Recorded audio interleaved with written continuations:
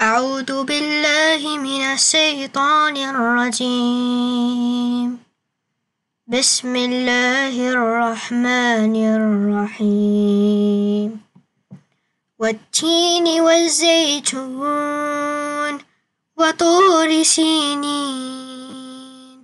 وهذا البلد الأمين.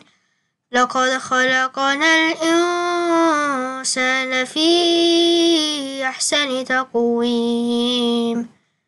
ثم رددناه أسفل سافلين. إن الذين آمنوا وعملوا الصالحات فلهم أجر غير ممنون. فما يكذبك بعد بالدين. أليس الله بأحكم الحاكمين؟